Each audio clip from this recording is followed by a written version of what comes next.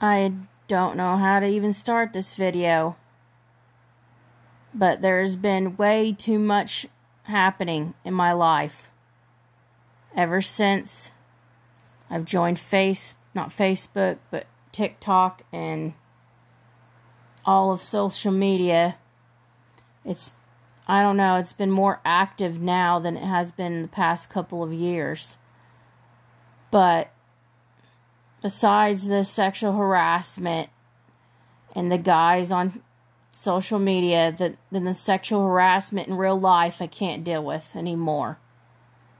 You know, I don't deserve to be touched and shit just because I asked to borrow some money and pay you back with a gift card that I had just so I can get my fucking pictures from the fucking Walmart my pictures from my mom and dad professionally done. But anyways, that's what I've been dealing with since Friday, Saturday, and Sunday, and fucking today. I can't take it any fucking more. Seven years was enough. I can't deal with this son of a bitch anymore. You know, it, it sucks to not have support. It sucks to not have help. And you're on your own, supporting yourself all the way. And people that just take advantage and shit of other people. I'm fucking done, man. The only two other people that know about it is Diane and Brian, and that's it.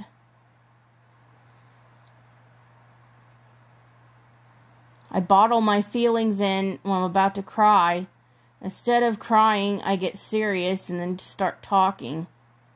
But I'm sick of it. I just feel like I'm in a never ending fucking hell with this man.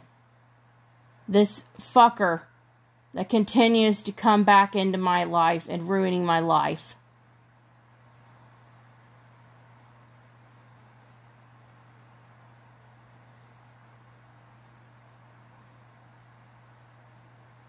Just somebody that just tries to take control of me.